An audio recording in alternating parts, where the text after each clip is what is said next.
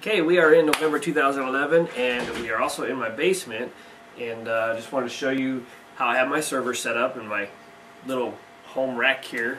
Alright, so first up down here I got a couple servers, uh, a couple just desktop computers running as servers.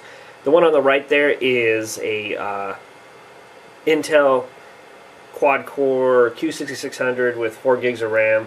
It's running Windows Server 2008 R2 and also Hyper-V with another Windows Server 2008 R2 in there. Um, the one on the left is my pfSense box. It uh, the internet connection comes in and goes directly into that box, and uh, that handles all my firewall, proxy, uh, some other filtering and stuff.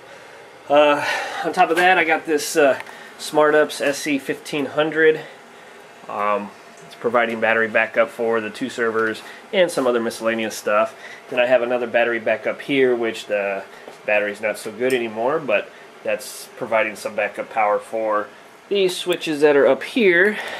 Now these are a couple gigabit ones that a buddy of ours, Hit and Run, has uh, repaired for me. They had some blown caps on there and then just some cheap 10100. But um, these are a couple gigabit ones and you can see I still have them kind of apart. It's pretty ghetto. I don't care. They work. Um, and then up here is where I've dropped all my new Cat 5e plenum lines and uh, into a patch panel. So it's not real clean. I, I, still haven't labeled them yet. Still got some old labels from before.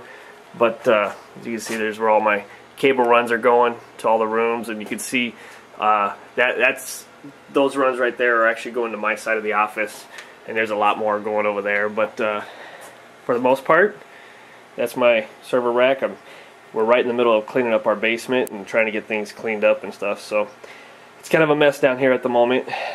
You can, and also you notice I don't have any monitors or anything hooked up so they're just headless boxes. Remote into them and do all the work we need to